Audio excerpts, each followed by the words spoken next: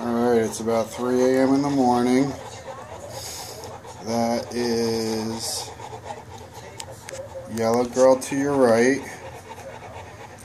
and pink girl to your left who's on her back sucking. How cute is that? And then that's blue boy underneath. I know, Cal. You're a good girl. Everybody's doing good. Look at the tongue action there. Can you see it? Some good tongue action there.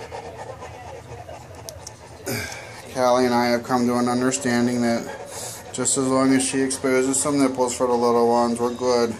It's been tough to get her all the way over on her side for some reason, but she'll go down fine. And she's doing good. Everybody's good, knock on wood.